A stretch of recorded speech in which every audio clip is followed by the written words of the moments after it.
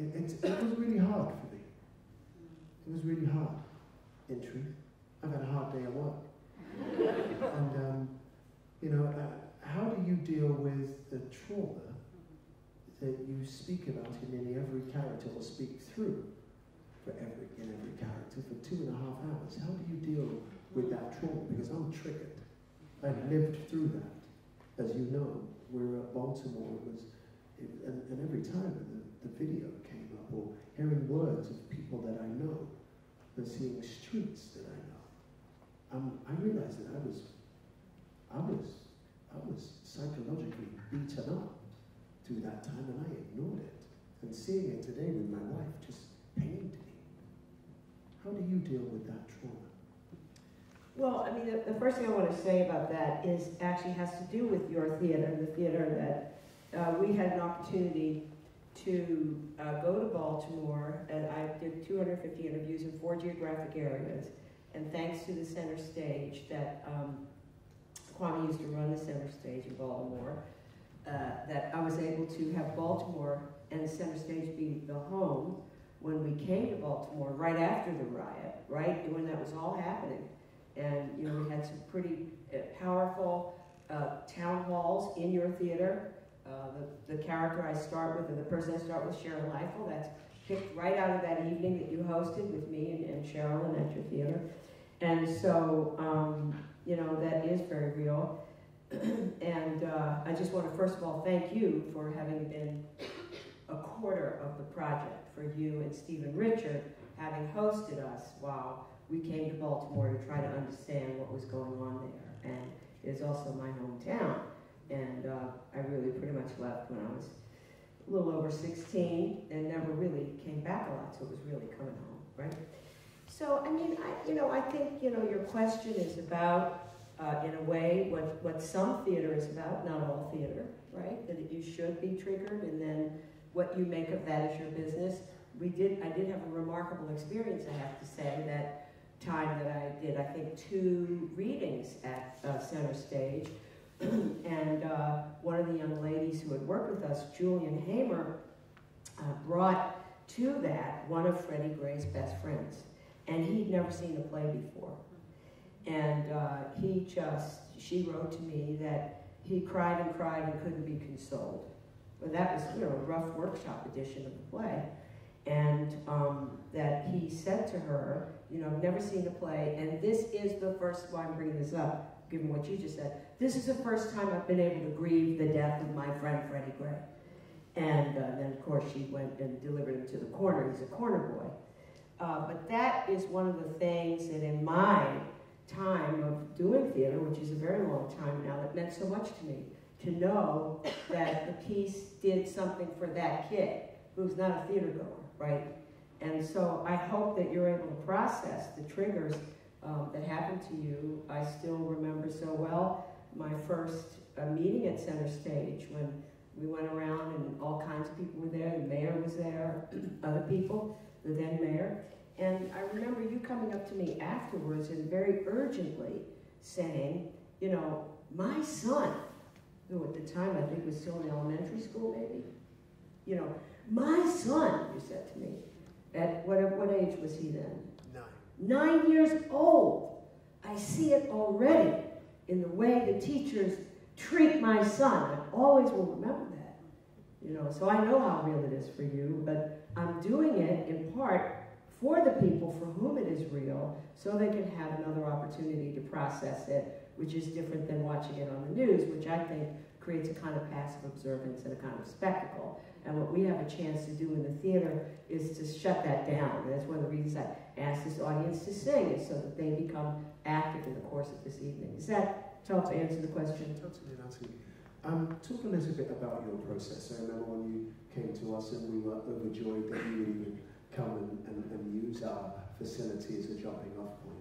But talk a little bit about the process, about how you got to those 250 interviews and, and what you did, how you communicated with them with the people you, uh, you were speaking Well, to? you know, I love going in the field, um, and two of the people who were in the field with me are here. Where's Daniel? Would you show your face? And Blake, real come just show your face. I don't go out there by myself.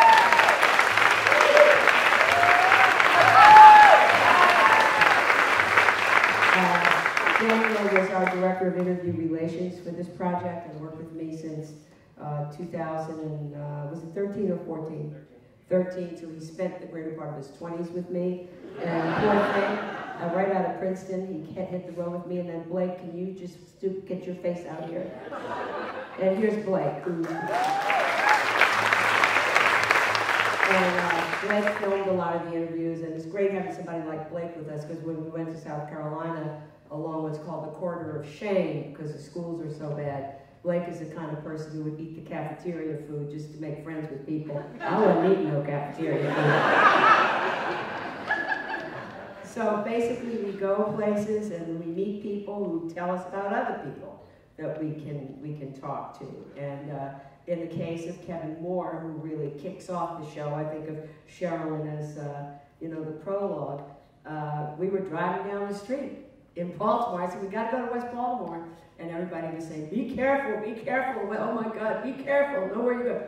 And we're driving down the street in our broken down van. You know, we had an old cab driver driving us around town. I do, you can't go places if you don't have somebody from there with you. It's too dangerous. So uh, Julian said, I think that's the guy who took the video of Freddie Gray. And we just stopped the car, jumped out, and got the interview. And then, and that, of course, becomes a very important part of the play. So some of it's just uh, happenstance and some of it is, is planned, but that's really the process is talking to people or really, you know, listening to people. I try, to try not to do a whole lot of talking. I mean, of course, we've read over the years about your process of inhabiting characters, but, but might you speak to that for a moment? What, it, what it's like once you've, you've heard and you've interviewed, and then you select the passage that you want to, to make manifest of them, and then you've got to get into that character, right? Well, you know, being in this theater, which I have to thank uh, Vicky and Chris and everybody uh, who's, uh, you know, let me be here, and, and of course Becky Bates and, um, and uh, David Binder at LIFT, um, because being in this theater uh, really reminds me, it's a better version of the theater where I trained, which is American Conservatory, Conservatory Theater in San Francisco. And a really critical part of our training, you know, was, you know, to be in a place like this that's really made for listening and talking, you know, is, is really a jewel. And believe it or not, I don't have this chance that often. Um, and so it's Shakespeare that is the launch for me of this work. And it really started in my early Shakespeare classes, you know, where I was just, you know, really very um, interested and caught by and kind of uh, had a romance with the idea that in Shakespeare, you know, you just say the words and a whole lot happens. And that's really all my all my technique is, is that um, I believe in words. Uh, my grandfather said, if you say a word often enough, it becomes you. So somewhere between my grandfather with an eighth grade education, uh, coffee and tea man on Pennsylvania Avenue in Baltimore, and Shakespeare comes this process. Um, talk a little, if we can, and this would be one of my last questions, um, and about the physical production, about about how you how you and the director choose to to I don't know to kind of embody this in the physical space that you're in. Well, there's a lot of people involved in that, isn't it? Interesting. People call it one woman show. And where is Marcus Shelby? Shouldn't he stand up and take a bow again? Mark, did he split? You know that's wrong, Marcus. That's cold. If you see him on the street or in a bar, tell him I called out on it. Um, okay, yeah. So, um, you know, look, it's it, the first person I meet with is the costume designer, um, Ann Ward, who I've been working with since 1990 something or other. And um, the first thing I do is show up with all my stuff you know, all my, it used to be tapes and photographs. That's how long I've been doing this. It used to be cassette tapes and photographs. And then cameras got small enough that you, you could have video. So I show up with all my stuff, and Ann is incredibly interested in the people and what they have on, what they wear. And, you know, we bring too much stuff into the rehearsal hall in every way. All the possible clothes and shoes and all the possible words. First reading is about three or four hours long. So that's number one, is, is um, the person who is thinking about what of the person will we use or not, right? And then, of course, the director uh, is the person who figures out the mise en scène with the work. And uh, Leonard, who I work with also on my, my show, uh, Let Me Down Easy, about healthcare, is an opera director. So, it, you know, he brings all of that with him and with, along with this project with Elaine McCarthy, who designed all the videos, and uh, Jules Fisher and Peggy Eisenhower, who designed my only Broadway show, which was uh, Twilight Los Angeles. So this incredible team, uh, Jules and Peggy were nominated for two Tony Awards. So, you know, this thing that looks so simple, I guess what I'm saying, is takes an incredible amount of theater intelligence. And I'm blessed that I have some of the best people of their generation who brought themselves around this project. They could be doing other things. You know, you don't make a lot of money doing this kind of stuff. And so uh, it meant so much to me. They're willing to step away from opera and Broadway and the places that they live to get it, dedicate their imagination to what's triggering you, to the cause of these kids, right? Yes, totally. Um,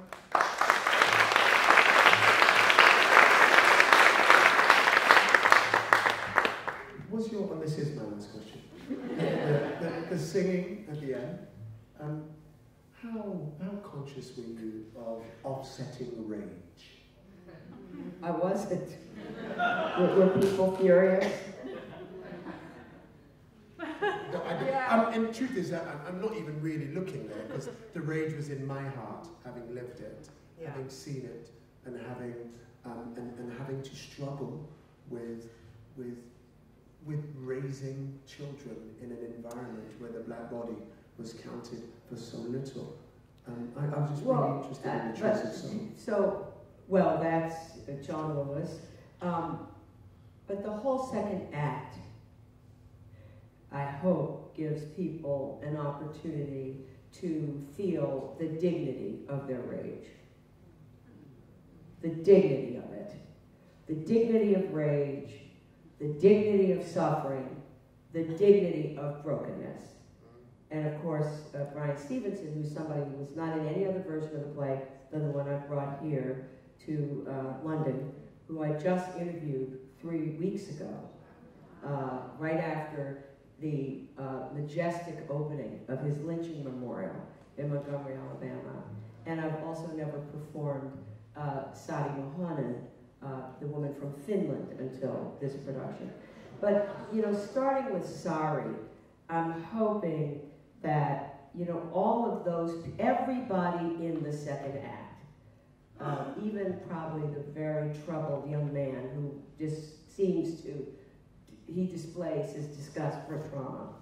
Uh, I'm hoping that all of those people who have a profound understanding and a, pro a profound compassion, and then towards the end, three activists, Bryan Stevenson, who literally saves people from the electric chair, uh, and you know Bree, who risks her life climbing the pole, and then John Lewis, who's walked the walk since the 1950s, that that, if not, I don't know if it addresses the rage, but does it uh, cause it to circulate differently, to circulate into action, or even more rage?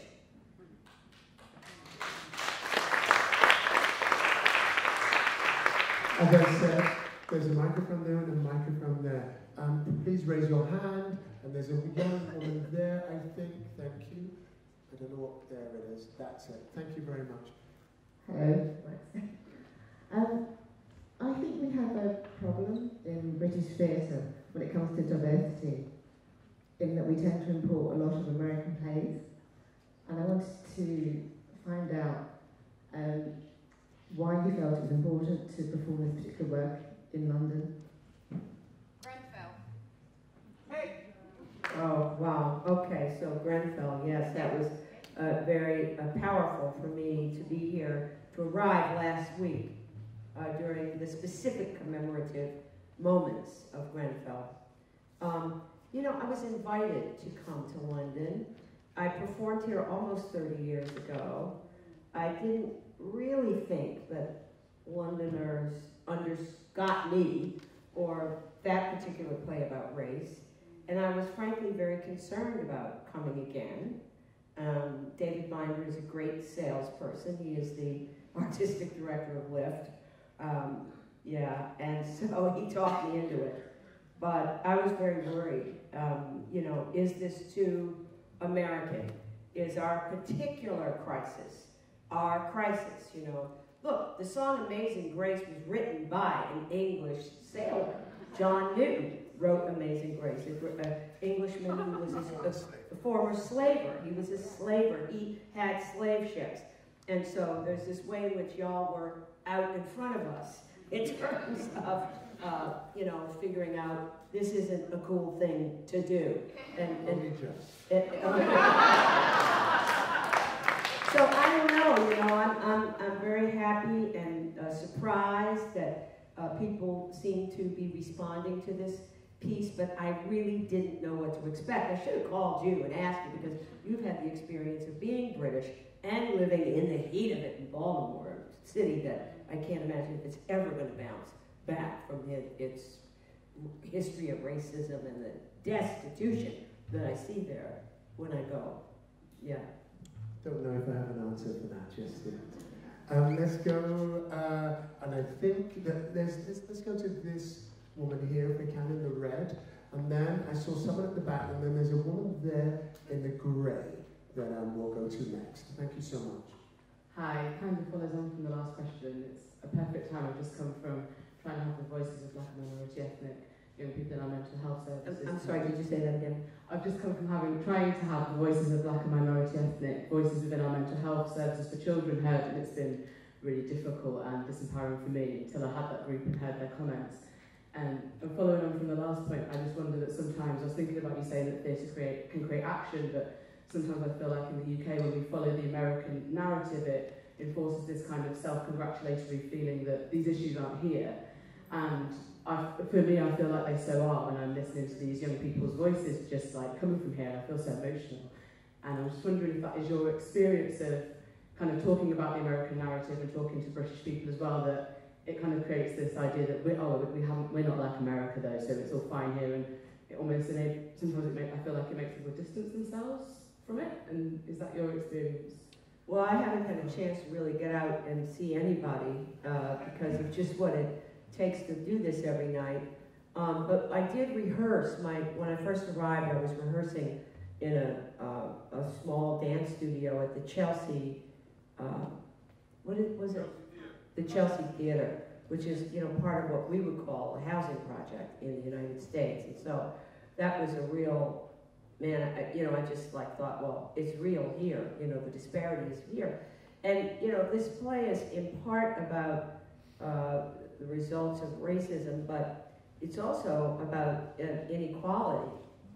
And this is also why I start the second act in Europe, well, in Britain, uh, with, uh, with, with a woman from Finland who on the one hand says, well, maybe we're such a small country and we're so homogeneous, but, you know, I, I, I said, well, what about immigration? You know, and so, oh, well, 70% of our children are, are foreign-based, she said. But you, a, a sense for me in that interview, and I don't know for you, for what I did for you, is it's coming. Mm, it's coming, is the problem of differences. You know, how do we negotiate that? And for countries that will, in Europe, that will no longer look like the old Europe, will they take a lesson from the US and, the, and even from Britain? I don't know. But I would love to know more. I wish I had uh, time to learn more about uh, what is happening here. I'm very easy to reach if anybody wants to drop me an email. I'm a professor at NYU, ads2 at nyu.edu but you can just look up NYU and you can find me. And I want to know, you know, how this speaks to you.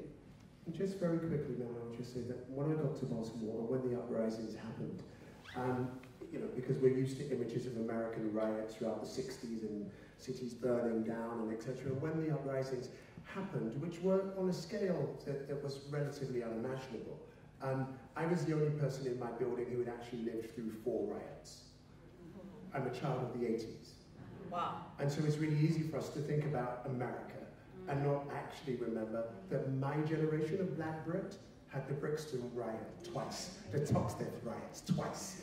riots in Birmingham, Southall, that the blood on the streets were young black men being battered by police, and I lived that experience. So actually coming, there is no America in here in terms of the racial experience. We just hide it a bit better for those who wish to not see. There's a question there from that young lady there, and I'm really cognizant that I haven't asked any men yet. Um, uh, I have a question uh, regarding the Throne 2050 um, interview that you have done. First of all, I wanted to know whether it will be in a book or whether you plan to share it in a kind of legacy because um, I was really moved by the, the play and uh, I'm French, I'm originally French and the problem I have um, is that in France or French speaking country in general, I think that we do not know enough about this history, whether it's in the US or elsewhere, but we are more and more, we are mainly stuck into what happened in France or French speaking countries. And that's only when I learn to speak English and understand English that I basically learn about the history of black people in America or in Britain or, or things like this. And that's really sad. I think that we need more um, legacy and more literature about this. And I think that your work, those in, for example, this 200 interview, might be of interest of many, many other countries. Or and so, if you do, if you can think about translating it, that would be great. Well, yeah, I mean, well, we, we the idea is to make an archive. Um, I haven't thought about translation. I guess I have to write another grant for that. Um, but in fact, when I leave her here, I will be going um, to Paris uh, to interview uh, a wonderful filmmaker there, Hame Bourokba, who I speak with often, and of course the the the, the, the, the tension, the dance, the, I don't know what you want to call it, between the Algerians and the French have, have always interested me, and I drop in every once in a while to hear what Hame has to say about it. Um, but yes, I I'm going to make a note, try to get a grant to get it translated, because it is time, isn't it, for us uh, to understand that these issues aren't in one country or another and to learn from each other. Great, thank you. Who has the mic right now? And if not, then this, this woman there in the red shirt, if we could go there. And then there's, I think there's a woman there with the red hat. And then I'm going to take one more question after that, which is from you, man, I think, in the white shirt. Great, then, uh, then I can extend and do that too. So who has the mic? Go. Hi, um, so you mentioned video as part of your, your captioning process in terms of the, the interviewing and also video is used very seamlessly within the show. Um, I know that there's a there's an HBO version of one iteration of the show, and I'm just I'm just interested in your thoughts about these sort of two coexisting productions, this theater production which has, it, it sounds really exciting in terms of these new updates and being here, and then this HBO version, which is going to have another reach and hit a different kind of audience. And I'm, uh, particularly because you mentioned the role of audience in the way the song comes and not being passive, in terms of being forced to engage with you and for you really speaking to us.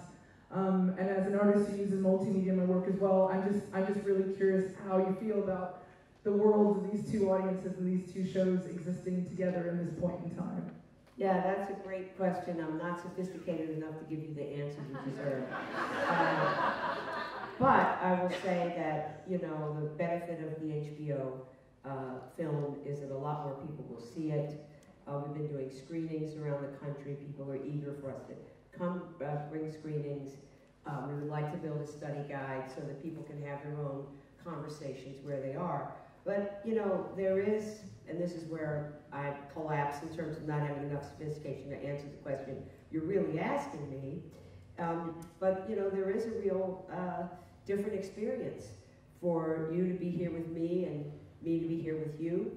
Uh, when we filmed the HBO piece, I will say we only, I did two performances. It's not like we stopped and did setups or anything like that. So there is a certain immediacy to, to it. Um, Jonathan Demme was uh, originally asked to direct it. As you all probably know, he passed uh, last year, and, and uh, but his team of people felt that it was his legacy that they wanted to celebrate, and it all stuck together. Uh, but Jonathan, when Jonathan came to me and said he wanted to uh, direct it, the reason I said no without hesitation, in addition to the fact I've been had small parts in two of his movies, was that um, you know he's the king of of, of, uh, of, of music performance, and I wanted you know somehow to have that kind of immediacy if possible. But nonetheless, the, um, I actually learned that uh, idea of doing uh, Amazing Grace. I will say, with the we had a very small audience while we filmed it, and it, that's the first time that ever occurred to me. You know, spontaneously to lean forward and say, "Can you all sing it?" They happen to be a choir from Brooklyn. Just conveniently for the film. I mean, but nobody, you know, everybody was shocked. The producer, nobody knew that I was going to do that. But, you know, heck, that kind of did give me some confidence to have that big black choir from Brooklyn uh, who had sung at the Rock and Roll Hall of Fame, the Prince commemoration. Um, you know, when they burst into it with no problem. But, uh, but also, even here, I didn't know I was going to do it. it. I took the director by surprise. Uh, I just I don't know if it was the first night or the second night, I just leaned forward and took that chance. And everybody asked me what it's like to be in Britain. I mean, in a way, that was the scariest thing. Is I did not know if anybody was going to sing. Know the song. Yeah, but, well, but it's a British song. They should know the song. But everybody knows the song, and I'm glad they sung it. But uh, and also, let me just say one other thing about your question that's really very important to me, uh, which uh, you know all about because of our Baltimore time, by the way, sir is that the original idea of this project was that uh, I would perform one act, and then, which we did in Baltimore, and say, this is all we got, brothers and sisters. You fix this. And we send people out, audiences of 500 people, into small groups of 20 to talk about it. So the, the, the, the play has been conceived as a community, a town, a city meeting where, again, you have the opportunity to be triggered to think about what you are going to do. Uh, I'm sure there are ways in which film will get to that point. Um, I'm on a Shonda Rhimes show right now for the people, and of course, Shonda, one of the one of the many many things Shonda did. Uh, I don't know if they have Shonda Rhimes here. Scandal, you know, Scandal had like real time tweeting. They were the first people to do that. Um, so who knows where film's going to be, but I like feeling you. I hope y'all like being here together because it's not just about me. The, what arts organizations have the opportunity to do is to bring strangers together, standing next to each other, sitting next to each other, and having relationships that they would not otherwise have. So there's a lot to do to support real live uh, performance. Tremendous. Thank you, ma'am. Um, hi. Yeah, okay. um, first of all, I want to say thank you for the um, for your work and I've been a fan, but also for the representation in this piece of the Native American people, because I don't think that a lot of people understand that it's still going on for them and it's sometimes miles worse in a way, which is weird to codify, but um, um, but the other thing I wanted to say is, or ask, what, well, about the school to prison pipeline. Now, I'm going to sound like a conspiracy theorist, but here I go in front of everybody. Um, is what's happening now with the immigrant children being separated and being put in prisons. Now there was a bit where it was starting to stop the, you know, people come out against the school to prison pipeline and and you know there was corporate um, sponsorship of prisons that was starting to be clawed back. And do you feel like that's the next bit where when you know that people found out that oh this is happening in schools we're going to stop this you know some of the corrupt judges and people have gotten arrested and now they're carrying it on to this other demonized other which are babies well, it's a little bit more complicated than that. Um, you know, we could write a book about it, but I will say that, first of all, even to call the phenomenon the school to prison pipeline is not the, the best 360. It's really poverty. And we, look to schools in America to be the intervention against poverty and racism and to help create more equal opportunity. But as the first speaker tells us, uh, that dream collapsed immediately in the 50s um, as soon as Southern people, when told they had to integrate their schools, uh, you know, for example, made private schools, and that, that, that just wasn't going to happen. And so our public schools are, are uh, in very bad shape, so they can't be that intervention against violence and trauma and poverty that really prevails in many poor communities. That's number one. So I don't think about the school as a part of a conspiracy. I think that our teachers are overburdened and our schools are overburdened and they need more. They need to be upgraded and there's an opportunity to make something quite beautiful with the public schools. I'm the daughter of a public school teacher, that's why I did this project. The other question is, of course, right now for us in America, you know, hits on something that's very troubling. And today, when I was speaking um, uh, Sherrilyn Ifill's words, and given what's happening to America right now, and when she says, uh, that she talks about the investment in the prison system, I think about how, you know, I spent a lot of time in Arizona uh, making a, a, a, play about the, when they named a law school after Sandra Day O'Connor as a way of celebrating that, having the first woman ever to be have her name on a law school in America and the first non-donor. But uh, because it was Arizona, I had a chance to look at uh, immigration in a, in a, different way. This was around 2006, 7, something like that. And I spent some time in a town called Florence, Arizona, which is all prisons. Everybody there works in a prison. And it was an amazing experience. And all those kinds of prisons are ready and prepared to do anything that someone like our president is about to do. The prisons as structures are there to be of use in any way.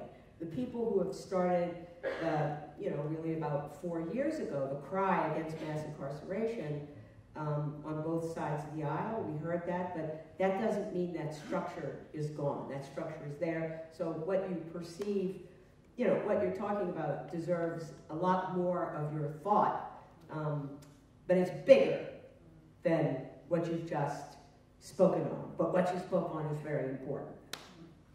I think, I, no, I said that one last question there from you, ma'am, if that's all right, and then we'll call it in. Hello.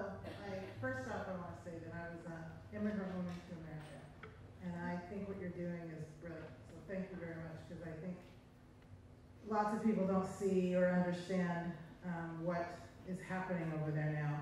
Um, and I guess I have more of a, of, of a kind of an odd question, but the to me, the end of the play and even the singing was, was almost hoping for some sort of hope in America. I left the country a year ago because I was so heartbroken. So I wonder if in doing this and, and speaking to the people that you speak to and connecting with the ones that you connect with, if you can offer hope. If what? I'm you sorry. can offer hope well, uh, you know, I, I, I, I think that, uh, to quote somebody else from my, uh, the cast of people in my 18 or 19 plays now that I've written like this, Cornel West, who uh, opens the second act in my play Twilight Los Angeles about the Los Angeles riots. And he says, more eloquently than anyone, and so I'm going to use his words, not mine, that hope and optimism are different. That optimism looks at the evidence and says, you know, it looks pretty good. Things, things are going to be better.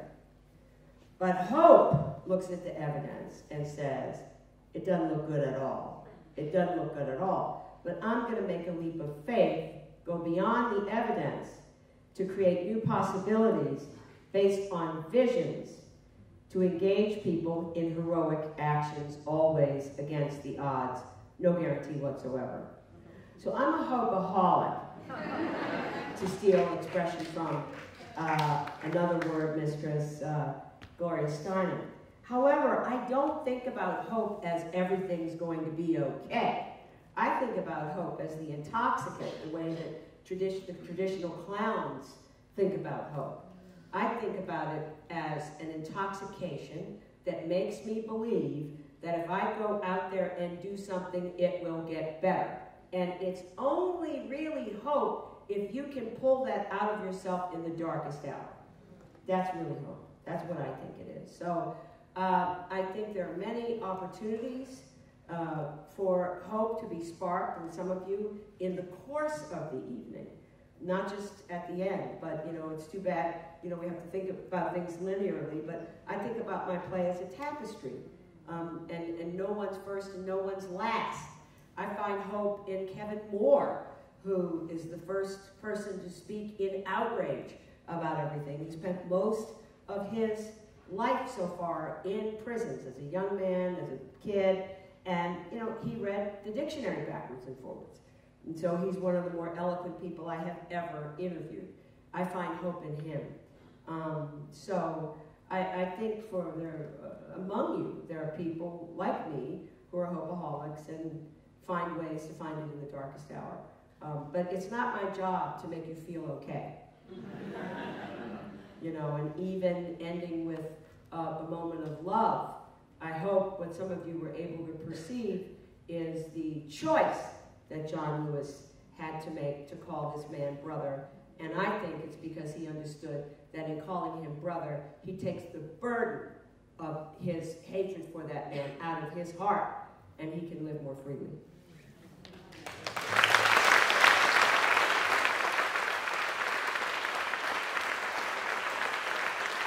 And with that note of optimism and hope, thank you, Anna Deavere Smith, and thank you all